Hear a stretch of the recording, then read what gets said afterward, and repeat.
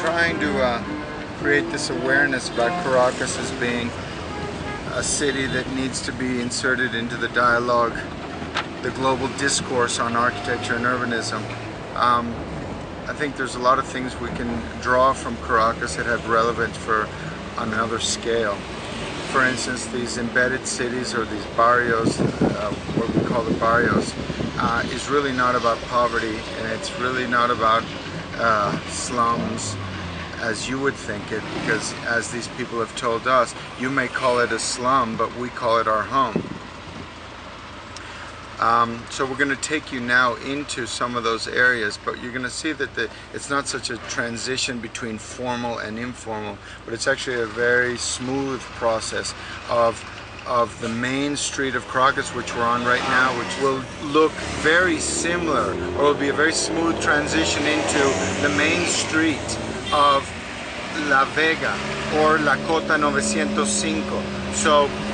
it's a very organic growth right out of, let's say, the formalism of Caracas, where we work and live, into the barrios, which is the forbidden taboo zone. Formal and informal uh, practices, formal and informal lifestyles are meeting all over the city. Uh, that means that you that you are, if you want it or not, that you're part of that. We, we're meeting one of our informers. You know, you're meeting one of the guys uh, who's a stakeholder in the area we're working. And since we're sitting most of the time in our offices, trying to think out uh, uh, projects and uh, making our, our work uh, presenting and projecting the topic to the outside of Caracas. We are highly dependent on the on the people and on the individuals who are living and working inside uh, this part of the city and have a, a, deep knowledge about what's going on. So what we're actually doing is uh, we're visiting our, our brains, our extended think tank uh, uh allies inside di different areas of the city